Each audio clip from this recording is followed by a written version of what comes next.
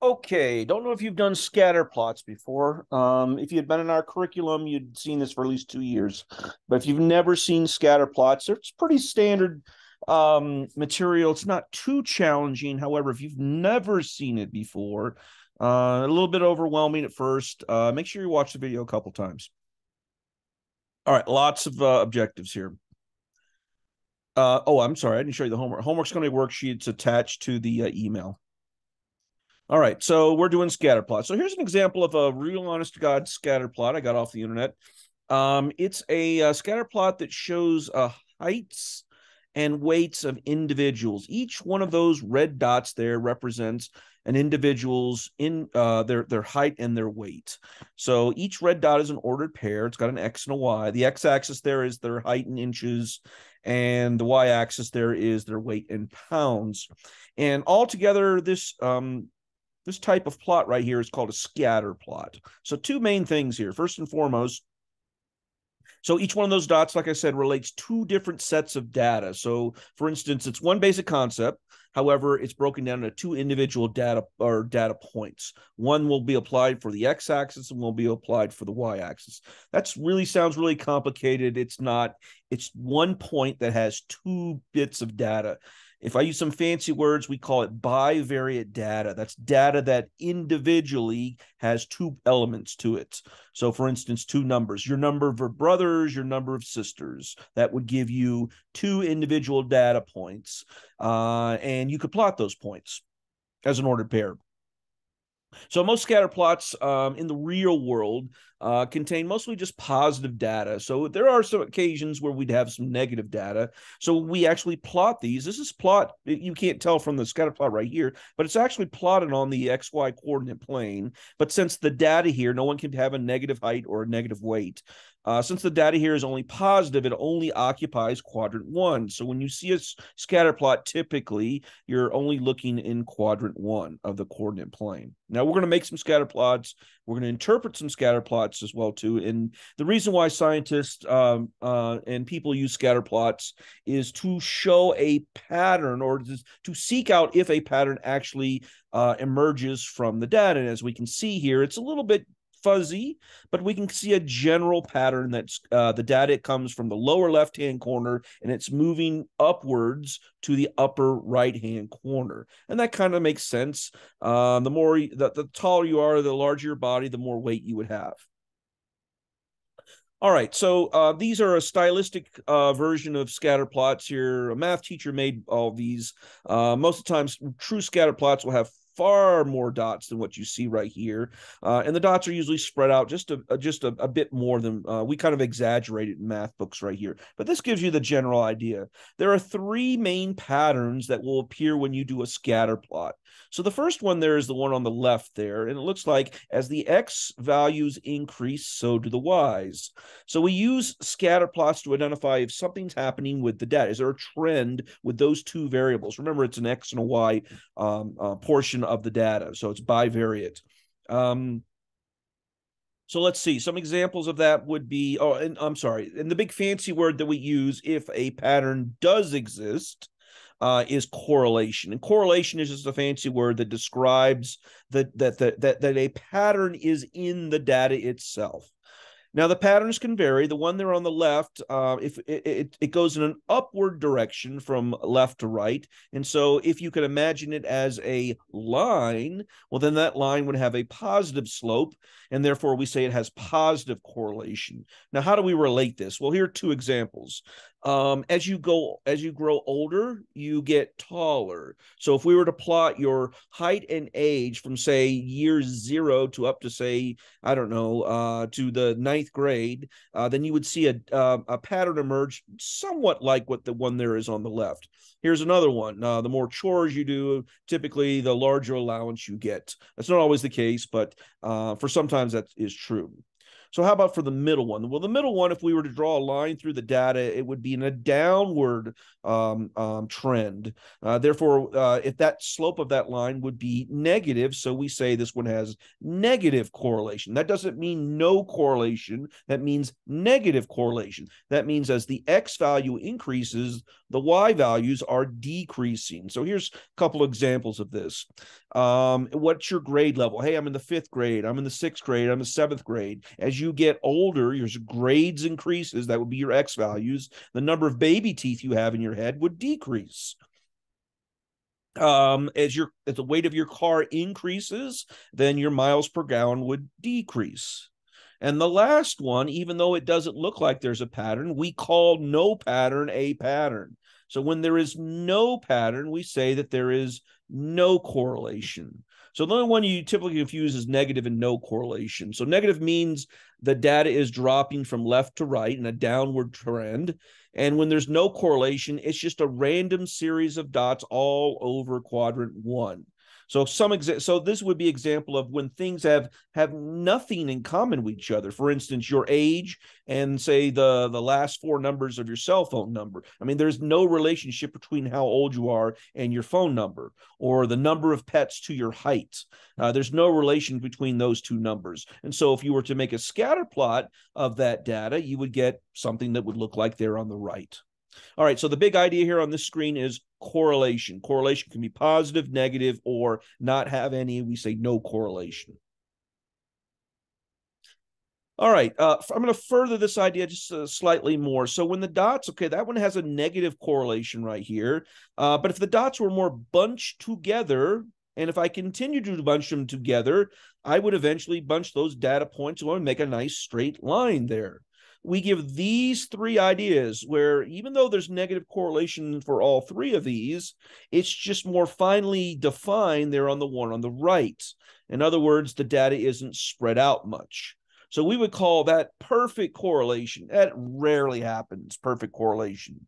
Uh, on the opposite scale, that would be weak correlation. And in the middle, we would say strong correlation. So when scientists make scatter plots, typically they never will get perfect correlation. That means there can't be any outliers. There's always that one kid uh, that no matter how much he eats, he never gets fat, that sort of thing. But generally, the more you eat, the fatter you get, that sort of thing.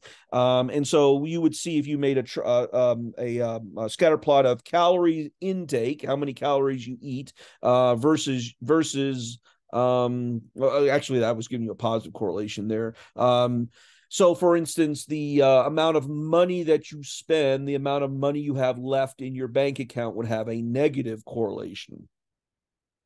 The opposite of that would be a positive correlation. And once again, if it makes a perfect line, we say it's got perfect cor- positive correlation, uh, strong correlation. And if it's kind of fuzzy, but it's the general trend is in an upward direction, that would be a weak positive correlation and that's the one I was just telling you there is that the more calories you eat, the the heavier you should be. And there's always that one kid that can eat a lot and uh, not gain any weight, and then there's the the one kid that can eat a little bit and still gain weight.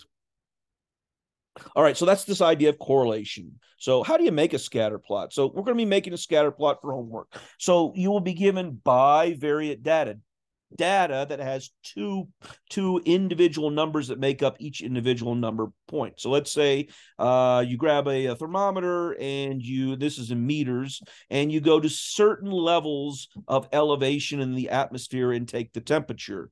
So, for instance, if I'm looking at this at uh, an altitude of zero meters at sea level, the temperature is 59 degrees Fahrenheit at say 2000 meters we've got 41.6 uh, degrees fahrenheit and as you can see as the as your altitude uh, increases your um, uh, your your temperature is decreasing this should be a negative correlation so the hardest part of making this and for your homework the same thing is deciding the tick marks to use for your quadrant one. And if you notice, uh, X would be your altitude, Y would be your temperature. Uh, for my X values, uh, my lowest number is zero. Okay, that makes sense. But your highest number is 5,000. So we can't have 5,000 tick marks. Um, so you have to make a judgment call. Generally speaking, we like between five and 10 tick marks. So if we were to go by, say, I don't know, 500 feet at a time, then you would wind up with, um, um, uh, uh, you know, a, a, a lot of tick marks there because we're going all the way up to 5,000. Uh, you definitely don't want to go by ones or by 50s. If you went by a thousand, let's see, that would be five tick marks. If you went by 500, that would be 10 tick marks. Um, and that would probably be a good number right there. Uh, a little bit harder to see there. It looks like the smallest number there is 0.6, and the largest number there is 61.3. So if we went by one, that would have to be, you know, 62 tick marks. Uh, if you went by uh i don't know twos that would be 31 tick marks. If we go by fives well I, I, think going by tens would be a good idea. So if we went by tens we would have seven tick marks. And once you once you decide those tick marks then to plot each point there for instance the first point there on the, the far left zero degrees for altitude and 59 degrees for fahrenheit you'd wind up with a scatter plot that would look like this. So that first point there on the left zero and it's almost to 60 would be that first red dot there on the left. And then you can see the dots. Now, the dots aren't perfect. They don't make a, a perfectly straight line. There's definitely strong negative correlation going on here. And that is the case. If you ever drive up Pikes Peak, you know, you notice at the, at the bottom during the summertime, it could be 80 degrees and the top, it could be 30 degrees. Uh, temperature roughly uh, decreases somewhere between three and five degrees per thousand feet. Okay, great. So that's how you make a scatter plot. Uh, you'll be making some tonight. I'm just going to show you another example, and we'll just talk about the scales because the actual plotting is is fairly simple. So let's talk about one more example. Let's talk about scales. So uh, here's dollars spent in the gallons. I assume this is gasoline. Oh yeah, it does say gasoline. Gasoline bought. So you're going to have your quadrant one. I've already got right there, and I, I believe I gave you 20 tick marks for this one. So we have we have 20 actual tick marks we could use. The question is, how many will we actually need? Well, if X is the dollars spent and Y is the gallons bought, let's see what we would do for our X. The smallest number on our X is a four, and the largest one looks to be 13. So I at least need to go from zero to 13. That would be 13 tick marks, and that sounds fairly reasonable. Uh, if I gave you 20 tick marks right there, you could go from zero to 13 going by ones. Uh, for the Y values, uh, smallest number is what 1.1, and the largest value is 3.3. Now you have to start at zero, so we're gonna have a little gap in our data right there. Um, so let's see if we go by 3.3, we don't want to go by 0.1. That would be too many, but maybe 0.5 would work or something like that. So I just wanted to briefly discuss tick marks. So you would have to label your tick marks there for both your Y and your X. Now it's perfectly fine that your X and Y have different values for each tick mark. But if you once you set a certain value for one tick mark as you go from left to right or up and down, then each tick mark must go up or down by the same value. Once again, or last time, the y's and the x could be different from each other, but in the y's, all the y's have to be the same and all the x's have to be the same for each tick mark. All right, hopefully that made sense. So tonight for homework, they want you to make a scatter plot. All right, go moving on. So, what good are scatter plots for? Well, they're to see if there are trends in the data, to see if something emerges that can tell you something. So, we're going to talk about what are called trend lines. So, trend lines are we construct a scatter plot and then we draw a line through the data to represent what is happening with the data. Now, this is literally a eyeball test this is not mathematical in the sense that I'm going to doing a calculation. Uh, if you take a class called statistics, either in high school or in college, you will learn how to mathematically calculate what's called the line of best fit, and that would be the perfect trend line. And that's the one that would fit the data perfectly. We're just going to kind of eyeball the data and draw a line through it. That's called a trend line. So if we look at this, I I I think about this as um, uh, uh, drawing a line through the middle of the data. So let me show you what I mean right here. So if we think about the data as a, I don't know, a hot dog right here. So if we think of it like that, and I want to draw a line through the center of the data, uh, well, then that would go from, well, roughly, and I don't remember, I'm doing this by eye, uh, that would kind of look something like that. And that blue line right there, the just the blue line, that would be my trend line. Now, do you need to draw the hot dog to do this? You don't. Uh, but we try to get the, the line to go through the middle of the data. And so, roughly speaking, and this is a rough idea, you wind up with half the dots above it or below it or left of it or right of it. So, if I look at the one right here on the right, I wound up with one, two, three, four, five dots uh, above it and one, two, three, four, five dot. Now, don't don't uh, panic if it's not the same number of dots. Just try to give it a good good uh, guesstimate where about half the dots are uh, on either side of your trend line. Now, if your trend line, the one on the uh, left here, I'm going through a couple dots. Well, then, well, then you're in the middle. All right. Hopefully that makes sense. And I, I bet you've done this before. All right. So the next thing in homework is, well, you're going to draw trend lines. Trend lines are not that challenging of a thing to draw themselves. But the question is, why do we actually make trend lines? Okay, so oh, there's some nice ones right there. All right, so why do we do trend lines? Well, trend lines well, they allows us allows us to predict answers to questions about the values not shown in the data set. Now that's just a statement. Uh, let me explain it to you. So let's say we had the question. There's our uh, scatter plot for altitude and temperature. Let's say we had this question that said, uh, "What is the expected temperature for 2,250 meters. So if we think this through, 2,250, so here's 2,000 right here, here's 3,000, halfway would be 2,500, and I'm at 2,250, so I'm right here. So there's your x value, 2250. So if we go up through the data points, we notice there's no point that it, the data touches. So what's the purpose of a trend line? Well, the purpose of a trend line is that if we draw the trend line, now my blue line intersects the, the uh, trend line. And then if I look directly to the left of that point where the blue line, the two blue lines intersect, I can read the temperature, and that's how it works. This works for both going from X to Y or from Y to X. For instance, if I wanted to do, I don't know, uh, 45 uh, degrees Fahrenheit, I could predict what temperature or what uh, altitude that would be going to go from 45 degrees to the blue line and then straight down to see what altitude that would be. And that looks like 1500 degrees or 1500 meters. Yeah, my unit's all messed up today. All right, so that's the real purpose of doing trend lines. Uh, I'm going to make this more complicated than it needs to be, but that's the general idea for trend lines. You use it to make predictions about the data set that you just made the scatter plot about. All right, so I'm saying that's about 41. Maybe it's 42, but it's certainly somewhere between 41 and 42. All right, so I'm going to use some fancy words now to describe this idea of how do you use the trend line to help you to interpret the data. So there's a scatter plot, there's my trend line. So if I'm looking to predict an answer somewhere between where the first red dot is and the last red dot that I described, we call that interpolation.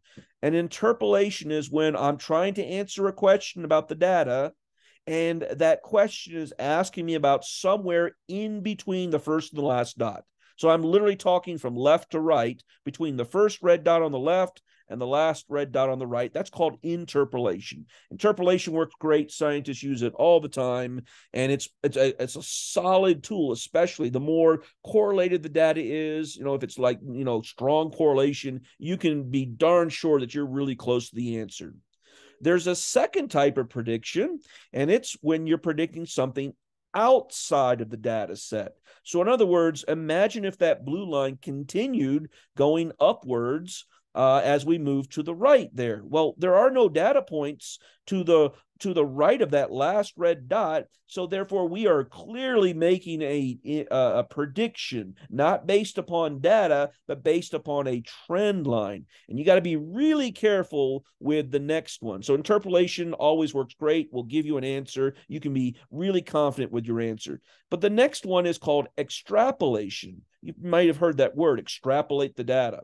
So when you extrapolate, you're going to make a prediction based upon the, where the trend line is going. So if I'm outside the data set, I am actually taking a leap of faith that the trend line continues. Here's a good example.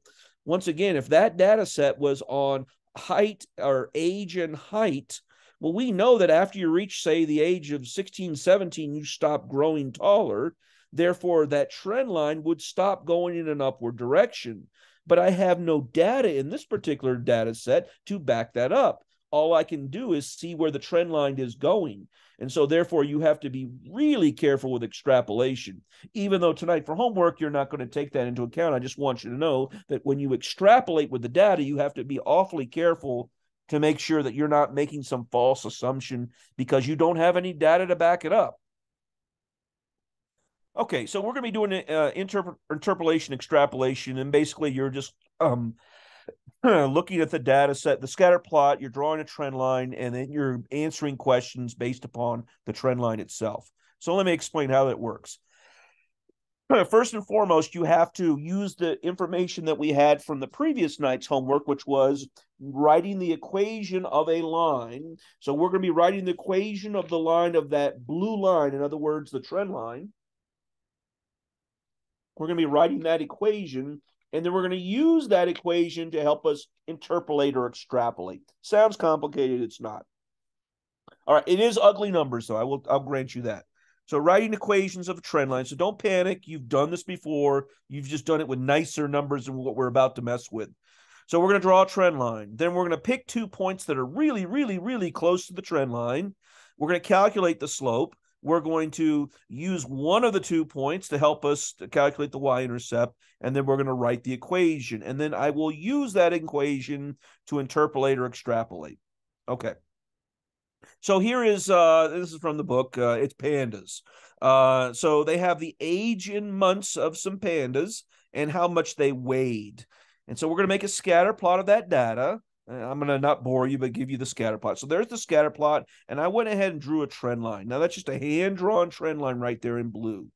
So it says draw the trend line. Done. Step number two, pick two points that are really, really, really, really, really from the data set that are really close to the blue line. So I'm going to pick these two points right here. So I've I've made them in red. I've also circled them in black. Those are basically on the trend line. So I could use those to calculate the slope and to calculate the y-intercept. So this is the same drill as we had for homework a couple nights ago. Given two points, calculate the equation of the line. So calculate the slope first. So that's y2 minus y1 over x2 minus x1. I'll make that first red line there uh, 0.1 and the second one 0.2. So that would be 37.9 minus 17.1 over 8 minus 4. Uh, absolutely grab your calculator to help you with this. I'm going to do the math there really quickly we get to a slope of 5.2. I, I'm just doing simplification of that fraction. All right. Uh, once you have the slope, now we're going to calculate the y-intercept. Remember, we choose one of those points there in red. I'm going to choose the one with the smaller number, 4 and 17.1. So 4 is your x, 17.1 is your y. Throw that with the 5.2, that's the slope, into the equation. Go to town and solve for b. 4 times 5.2, subtract 20.8 from both sides. And I get, why did I write that step twice? That's weird. Um, so B is uh, negative 3 point. I'm going to fix that for next year. Uh, B is negative 3.7.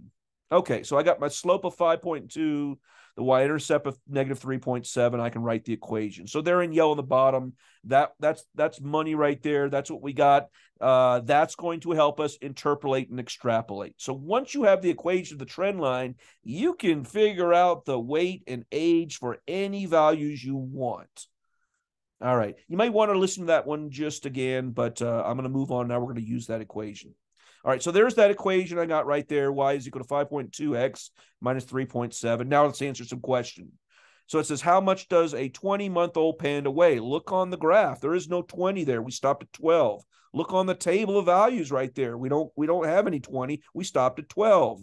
So we're going to make a prediction based upon the scatter plot. That's not between the red dots. That's way outside to the right. So this is extrapolation. We got to be careful. And by careful, we're going to do the calculation. That's not what to be calculate uh, careful about. You just have to be careful as am I confident that a panda is still growing between 12 and 20 months?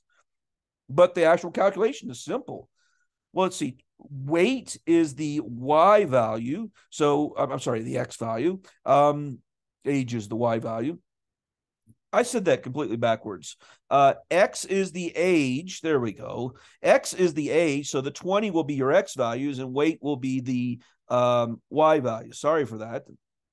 Um, okay. So we're going to just do the math here 5.2 times 20 and then subtract 3.7 and that's my extrapolation so my prediction is that the panda will weigh about 100 pounds will it weigh 100 pounds? Only if we can be assured that the data follows that trend line because we're extrapolating.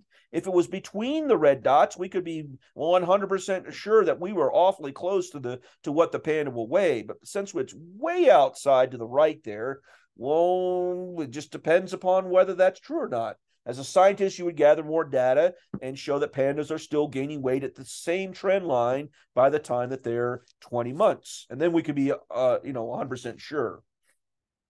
Okay, they're not going to ask you that question tonight in the sense of, are you sure? They're just going to ask you to interpolate or extrapolate.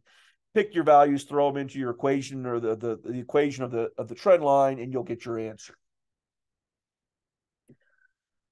All right. Yeah, so uh, I'm just going to uh, just wrap this up and do one more example right here, uh, and just show, uh, just talk you through. So once again, the process would be this. This is that second uh, scatter plot that we had here. So once you have the scatter plot, you're going to draw a trend line. Then you're going to pick two points on your trend line, calculate the slope, calculate the y-intercept, come up with the equation. Once you make the equation of the trend line, then you're going to answer the question. So if X is your dollars spent and Y is your gallons bought, it says how many gallons would $2.50 buy. Uh, well, that would be an X value. Toss that into your equation and it will tell you how many gallons were bought. And that's it. That's the whole lesson. Um, if you have any questions, long weekend, we're not going to see each other until Tuesday. Uh, I'll check my email a couple times each day, and I certainly can answer any questions. Have a wonderful weekend, and I'll see you on Tuesday.